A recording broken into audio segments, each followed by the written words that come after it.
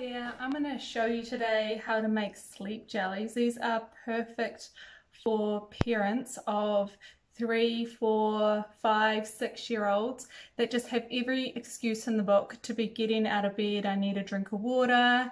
Uh, I have a sore toe. Um, I need another cuddle. You know, they just keep going in and out and won't settle. These are the perfect remedy to that. These are the go the to sleep jellies.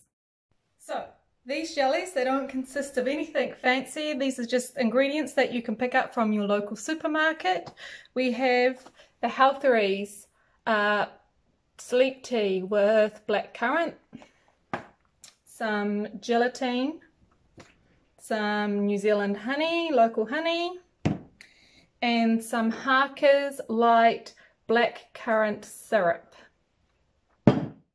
So before we begin, I just want to explain a little bit more about what you could be doing in the way of diet that could be helping towards getting them to sleep naturally. So in my house, we don't really eat sugar after 3 p.m. So they come home from school, they can have a treat, that's it. We don't have desserts um, after dinner, unless of course it's a special occasion, but you know, general weeknight there is no sugar after dinner.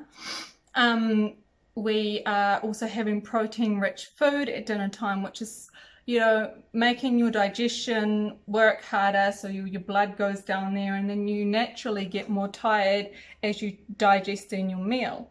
Um, also, bananas are so good before bed at helping give you a good night's sleep. So that's another thing that they could have after dinner, which is a bit of a treat. It's still got a bit of sugar in it, but is a really good healthy treat to be helping your kids sleep. So yeah, no ice cream.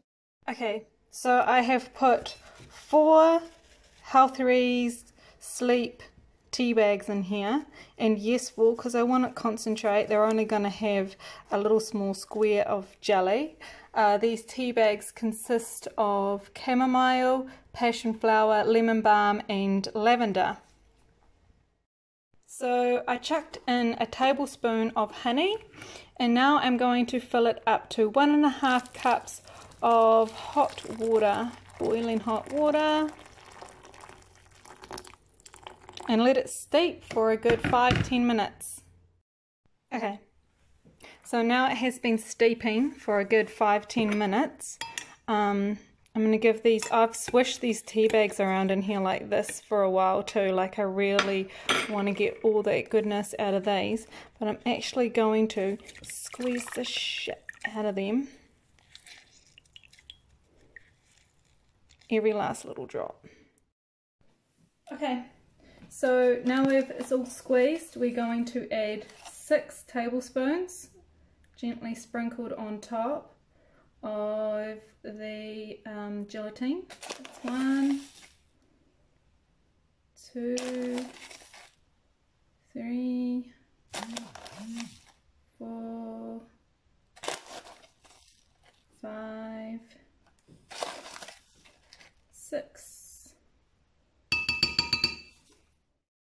And mix it in really well till it's all dissolved, which takes a little bit of time.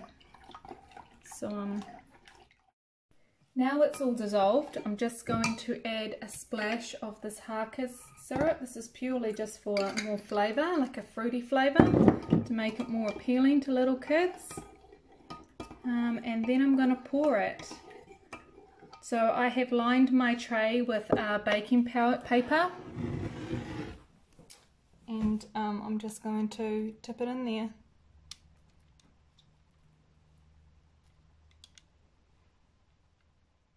This is going to sit in the fridge for the next hour and then uh, we can chop it up.